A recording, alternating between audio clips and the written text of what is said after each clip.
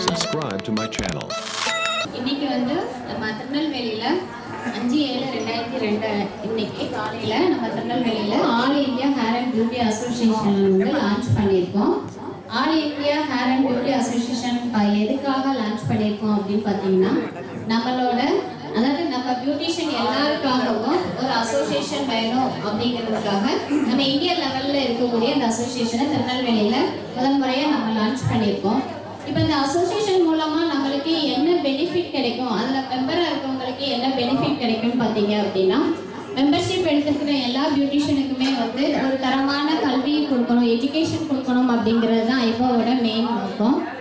நம்மளுக்கு free classes அதாவது காசு கொடுத்து ரொம்ப படிக்க முடியாத பியூட்டிஷியன் கூட இது மூலமாக நிறைய கிளாஸஸ் அட்டன் பண்ணி அவங்களோட நாலேஜ் வந்து டெவலப் பண்ணிக்கலாம். மேலும் சோசியல் சர்வீஸ் நிறைய பண்ணணும் அப்படிங்கிறது ஐபாவோட ஒரு மெயின் நோக்கம் தான் ஸோ நாங்கள் லீடர்ஸ் எல்லாருமே இப்போ இன்னைக்கு இங்கே வந்து பதவி பதவி ஏற்றிருக்கோம்.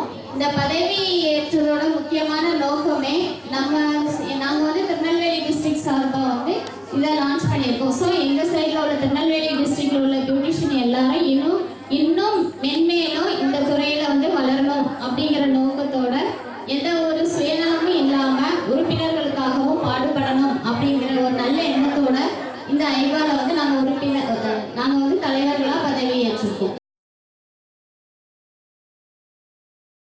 கவர்மெண்ட் சம்பந்தமா அப்படின்னா அதாவது நம்ம பியூட்டிஷியன் இதுலயுமே நிறைய வந்து கஷ்டப்பட்டவங்க நிறைய பேர் இருக்காங்க நாங்க அந்த குல- அதாவது கஷ்டப்பட்ட பியூட்டிஷியனோட குழந்தைகளுக்கு வந்து மாதம் மாதம் ஒரு பென்ஷன் அதாவது ஒரு ஸ்கீம் மாதிரி ஒரு அமௌண்ட் கொடுத்து அவங்கள படிக்க வைக்கிறதுக்கு கவர்மெண்ட் வந்து உதவி செய்யணும் அப்படிங்கிற ஒரு கோரிக்கையும் வந்து செய் கவர்மெண்ட் வந்து நம்ம கொடுக்கலாம் அப்படின்னு சொல்லி ஒரு தீர்மானம் வச்சிருக்கோம்.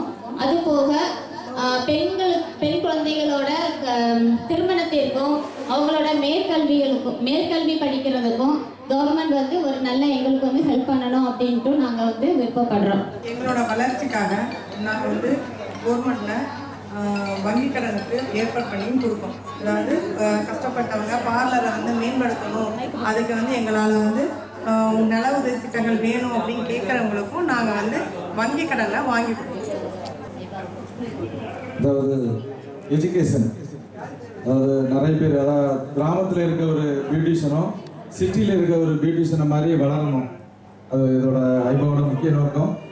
திறமையானவங்க நிறைய பேர் வந்து ஸ்டேஜ் கிடைக்காம திறமைகளை தனக்குள்ளே அடக்கிட்டு இருக்காங்க. அந்த திறமை எல்லாமே வெளியே கொண்டு வரணும். நிறைய சிட்டியில் வந்து ஐபா திறமைகளை திறமையானவங்களோட திறமையை வெளியே கொண்டு வந்திருக்கு.